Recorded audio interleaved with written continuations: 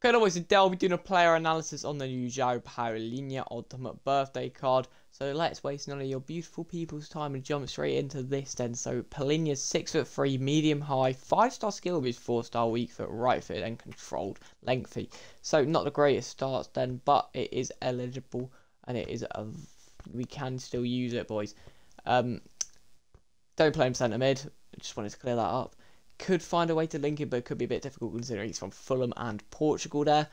Um, decent pace, not well, not really decent, pretty mid boys.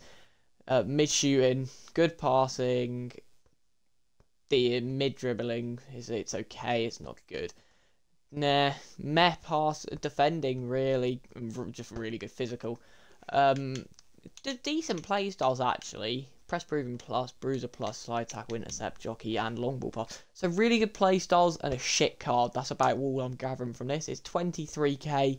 He could be a bit of a beast, um, but I just think there's better cards out there, especially if you're like starting the game, you don't have much coins, and you know you need a CDM. There's so many better cards that'll be like 15k.